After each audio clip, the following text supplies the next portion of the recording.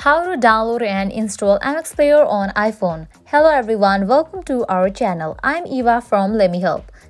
Now let's jump straight into the process. Open your App Store. Here we go.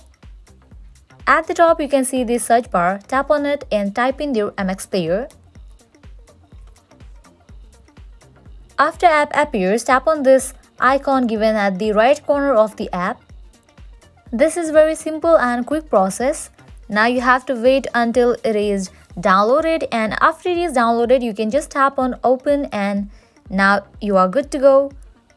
Now you can easily use your app. This is how you install MX Player on iPhone. I hope now you guys are clear about it. If you find this video helpful, at the end make sure to like, share and subscribe to our channel.